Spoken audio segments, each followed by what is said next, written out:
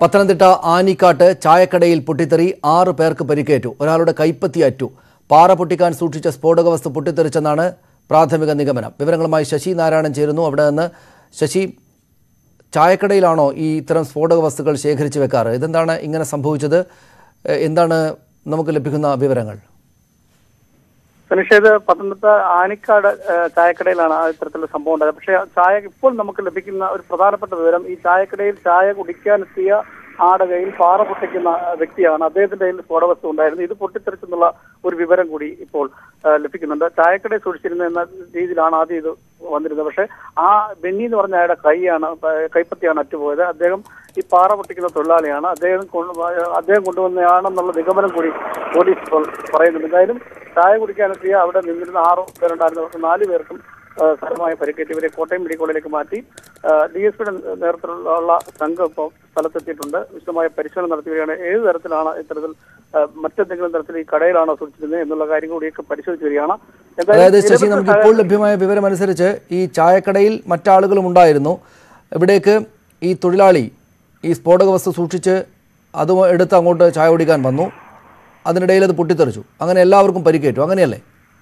അങ്ങനെയാണ് പോലീസിന്റെ ഇപ്പോൾ നിലവിലുള്ള വിവരം. ആ പ- പാറ പൊട്ടിക്കുന്ന ബെന്നി എന്ന് പറയുന്ന വ്യക്തി പാറ പൊട്ടിക്കുന്ന തൊഴിലാളിയാണ്. അദ്ദേഹത്തിന്റെ ഇതുണ്ടായിരുന്നു അദ്ദേഹം ചായ കുടിക്കാൻ വന്നപ്പോഴാണ് ഇത്ര സംഭവിച്ചെന്നുള്ള രീതിയിലാണ് പോലീസ് ഇപ്പോൾ പ്രാഥമികം രീതിയിൽ പറയുന്നത്. ആദ്യഘട്ടത്തിൽ ചായക്കടയിൽ സൂക്ഷിച്ചിരുന്ന സ്ഫോടക വസ്തു പൊട്ടിത്തെറിച്ചെന്നുള്ള വിവരമാണെങ്കിൽ ഇപ്പോൾ പോലീസ് പറയുന്നത് ബെന്നിയുടെ കൈകൂടി പൊട്ടിത്തെറിച്ച സാഹചര്യത്തെ അറ്റുപോയ സാഹചര്യത്തിലാണ് ഇത്തരത്തിലൊരു നിഗമനത്തെ അദ്ദേഹം പാറമട പാറയിൽ ജോലി ചെയ്യുന്ന തൊഴിലാളിയാണ്. അതുകൊണ്ട് തന്നെ അദ്ദേഹം കൊണ്ടുവന്ന ഇതായിരിക്കും പൊട്ടിത്തെറിച്ചെന്നുള്ള രീതിയിലാണ് പറഞ്ഞത്. ഇവരെ എന്തായാലും കോട്ടയം മെഡിക്കൽ കോളേജ് ആശുപത്രിയിലേക്ക് മാറ്റിയിട്ടുണ്ട്.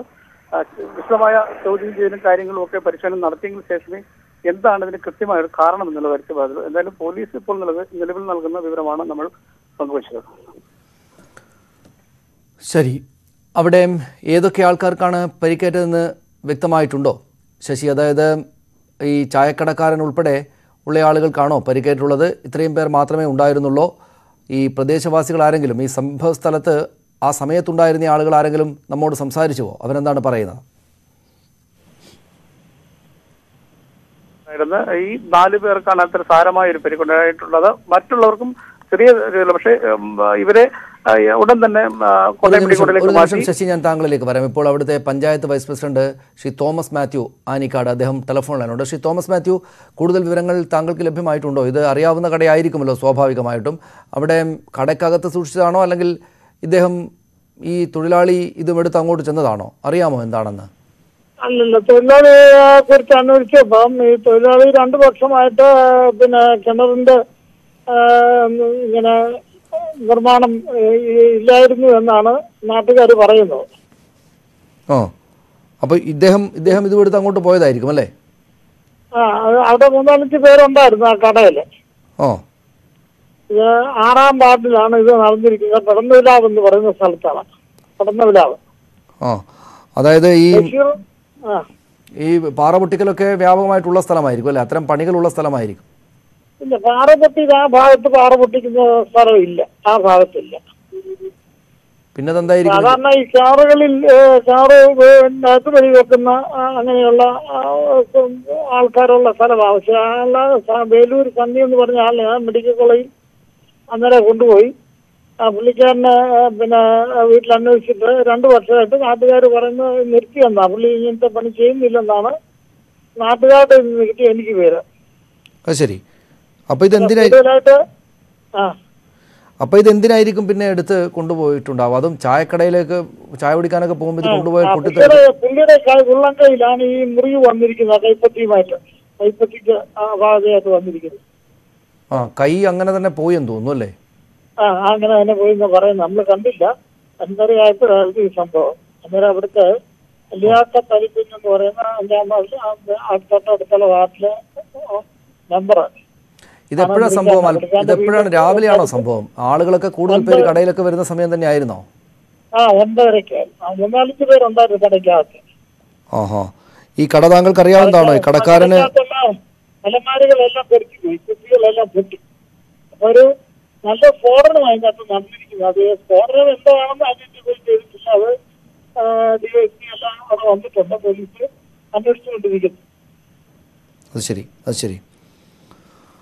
ഓക്കെ ശരി. കൂടുതൽ വിവരങ്ങൾ ആവശ്യമുള്ളപ്പോൾ ഞങ്ങൾ എന്തെങ്കിലും ലഭിക്കുകയാണെങ്കിൽ അങ്ങോട്ട് വിളിച്ചുകൊള്ളാം. വളരെ നന്ദി ശ്രീ തോമസ് മാത്യു ഞങ്ങളോട് സംസാരിച്ചതിന്. ശശി നാരായണൻ തുടരുന്നുണ്ട്. ശശി പോലീസ് കൂടുതൽ അന്വേഷണം സ്വാഭാവികമായിട്ടും നടത്തുമല്ലോ. ഇതിപ്പോൾ അദ്ദേഹത്തിന്റെ കയ്യിൽ നിന്നാണ് പൊട്ടിയത് എന്നത് തന്നെയും സ്ഥിരീകരിച്ചിട്ടില്ല. പൊതുവിൽ നമുക്ക് ലഭിക്കുന്നൊരു വിവരമാണത്. അദ്ദേഹമാണെങ്കിൽ ഈ പണിയിൽ നിന്ന് ഒഴിവായി നിൽക്കുകയാണ് എന്ന് പറയുന്നു. അപ്പോൾ എന്തിന് ഈ സ്ഫോടക വസ്തുവുമായിട്ട് ആളുകൾ ഇരിക്കുന്നിടത്തേക്ക് പോയി എന്നതടക്കമുള്ള കാര്യങ്ങൾ പോലീസ് സമഗ്രമായിട്ട് പരിശോധിക്കുമായിരിക്കും. കൂടുതൽ വിവരങ്ങൾ നമുക്ക് ലഭ്യമായിട്ടുണ്ടോ? എന്താണ് അത്? തീർച്ചയായും പോലീസ് വളരെ ഗൗരവത്തോടു കൂടിയാണ് ഇപ്പോൾ ഈ വിഷയത്തെ കാണുന്നത്. കാരണം സ്ഫോടനം നടന്ന കടയ്ക്കുള്ളിൽ നടന്ന സാഹചര്യത്തിൽ കൃത്യമായും പോലീസ് ബോബ് സ്ക്വാഡ് അടക്കമുള്ള ആളുകൾ പങ്കെടുപ്പിച്ചുകൊണ്ട് പരിശോധന നടത്തുന്നുള്ള രീതിയിലാണ്. പക്ഷെ നിലവിലുള്ള സാഹചര്യത്തിൽ ഇദ്ദേഹത്തിന്റെ കയ്യിൽ നിന്ന് പൊട്ടിയതാകാമെന്നുള്ളൊരു നിഗമനം മാത്രമാണ് പോലീസിലുള്ളത്. കടയിലാണോ അതോ ഈ ബെന്നി എന്ന് പറയുന്ന വ്യക്തിയുടെ കയ്യിൽ നിന്ന് പൊട്ടിയതാണോ എന്നുള്ള കാര്യം കൂടി പരിശോധിക്കുന്നുണ്ട്. ഉണ്ട്. എന്തായാലും ഉഗ്ര സ്ഫോടനമാണ് നടന്നത്. കടയ്ക്കുള്ള അലമാരയും അതുപോലെ കസാര അടക്കമുള്ള സാധനങ്ങളൊക്കെ പൊട്ടിത്തെറിച്ചു പോകുന്ന സാഹചര്യം ഉണ്ടായി അവിടെ കൂടെ ഉണ്ടായിരുന്ന നാല് പേർക്കും പരിക്കേറ്റ്. അതിൽ രണ്ടു പേർക്ക് സാരമായ രീതിയിൽ പരിക്ക് പറ്റിയിട്ടുണ്ട് അതുകൊണ്ട് തന്നെ ഈ സ്ഫോടനം നടന്ന കാരണം എന്താണെന്ന് കണ്ടെത്തി കൃത്യമായി കണ്ടെത്തിയെങ്കിൽ മാത്രമേ ഇത് ഈ പറയുന്ന തൊഴിലാളി കൊണ്ടുവന്നതാണോ അതോ കടയിലുള്ളിൽ തന്നെയാണ് സ്ഫോടവസ്തു സൂക്ഷിക്കുന്നത്? അങ്ങനെയെങ്കിൽ എന്തുകൊണ്ട് ഇവിടെ ഈ കടയിൽ ഇങ്ങനെ സ്ഫോടവസ്തു വന്നു എന്നുള്ള കാര്യങ്ങൾ കൂടി പരിശോധിക്കുന്നുണ്ട്. എന്തായാലും പ്രത്യേക സാഹചര്യത്തിൽ പോലീസ് ഇപ്പോൾ ഇത് ഗൗരവത്തോടെയാണ് കാണുന്നത് സനീഷ്. ശരി. ശരി. നന്ദി ശശി. ആ വിവരങ്ങൾക്ക്